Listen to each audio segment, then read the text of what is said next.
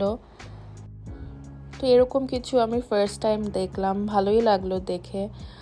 এটাকে কি বলে আপনারা প্লিজ যারা চিটোয়াংয়ের আছেন কমেন্ট করে জানাবেন। তো আমরা তারপর হোটেলে ব্যাক করলাম, এই দেখেন আমার ভাইগুলা। চারজন এক বেডেই ঘুমাবে আর এগুলো সব অ্যাক্টিং করতেছিল। এগুলোই করতে থাকে আমার ভাইগুলো। আমরা এতই টায়ার্ড ছিলাম যে কেউ ব্রেকফাস্টও করি নেই। একবারে দুপুরে ঘুম থেকে উঠে চেক আউট করে ফেললাম। তো আমাদের এখন প্ল্যান ছিল যে আমরা কোথাও লাঞ্চ করে দেন পতেঙ্গার ওই সাইডটা ঘুরে আমরা ঢাকার দিকে রওনা দেব।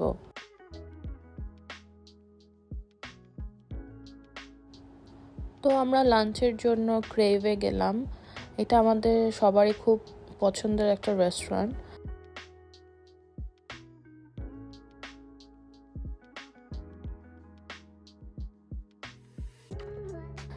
তো আমরা খাওয়া দাওয়া শেষ করলাম। শেষ করে দেন দেখেন আমার ভাইগুলো আবার কি করতেছে।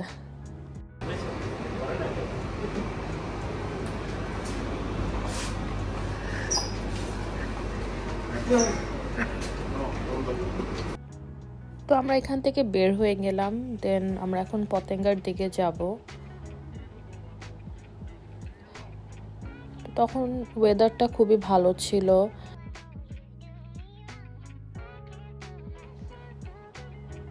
পতেঙ্গার যে মেরিন ড্রাইভ রোডটা আছে, ওই রোডটা খুবই সুন্দর করেছে। লাস্ট টাইম গিয়েছিলাম, তখন কাজ চলতেছিল বাট এবার দেখলাম ভালোই মানে কাজ করেছে ওখানে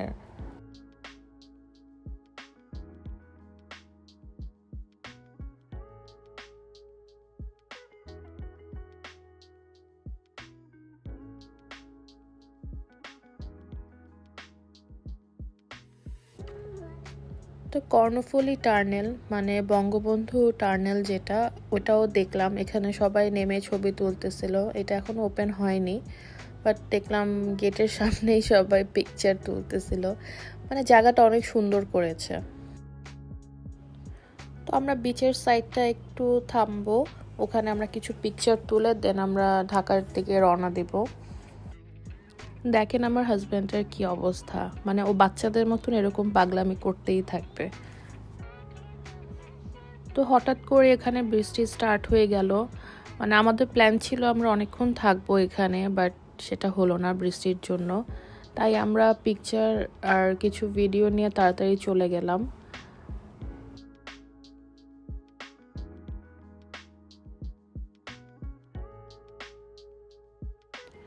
চিটাগাংয়ের এই শর্ট ট্রিপটা আমাদের খুব দরকার ছিল।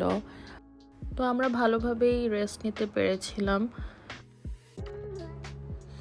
আপনারা প্লিজ কমেন্ট করে জানাবেন আমাদের যে আমাদের ভিডিও আপনাদের কেমন লাগতেছে। আমার ফ্যামিলি ব্লগ আপনাদের কেমন লাগতেছে। আপনাদের সুন্দর সুন্দর কমেন্ট আমাকে আর উৎসাহ দেবে ভালো ভালো ভিডিও নিয়ে আসার জন্য। তো আমরা সন্ধ্যা ছয়টার দিকে রওনা দিয়েছিলাম ঢাকার উদ্দেশ্যে। অ্যান্ড আমরা ঢাকায় গিয়ে পৌঁছেছিলাম রাত সাড়ে বারোটার দিকে। তো জ্যাম ছিল রাস্তায়, তারপরও মানে বেশি একটা দেরি হয়নি। তো দেখতে দেখতে সন্ধ্যা হয়ে যাচ্ছে। তো এর মধ্যে আমি ঘুমিয়ে গিয়েছিলাম, উঠে দেখি রাত হয়ে গেছে। তো আমরা হাইওয়ে নেমেছিলাম বাট নেমে দেখি ওটা বন্ধ হয়ে গিয়েছে মানে উপরের রেস্টুরেন্টটা তো আমরা ডিনার করার জন্য মিয়ামি রেস্টুরেন্টে নেমেছিলাম। এখানকার খিচুড়িটা আমাদের ভালোই লাগে। তো আমরা ডিনার শেষ করে দেন আবার রওনা দিলাম। তো আজকের ব্লগ এই পর্যন্তই। ইনশাল্লাহ নেক্সট ব্লগে আবার দেখা হবে। আপনারা আমাদের চ্যানেল সাবস্ক্রাইব করবেন অ্যান্ড ফেসবুক পেজটা ফলো করবেন। সবাই ভালো থাকবেন, আমাদের জন্য দোয়া করবেন। আসসালামু আলাইকুম।